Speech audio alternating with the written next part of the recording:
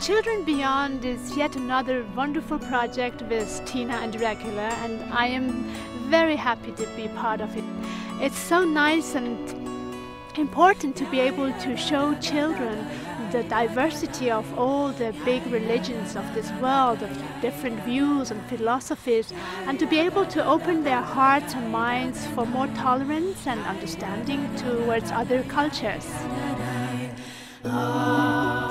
To be part of this project is absolutely gorgeous. I mean, something is happening right in that moment that has such a value to the world out there. Every moment will be captured in such a beautiful way. Some words that have been spoken during that time will really be transmitted through the world, and it feels very extraordinary just to be part of it.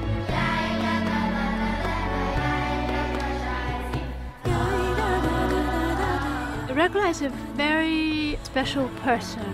She really do a big project that can make a positive impact on society. I think this is her main goal, and I think uh, she deserves a lot of respect for that.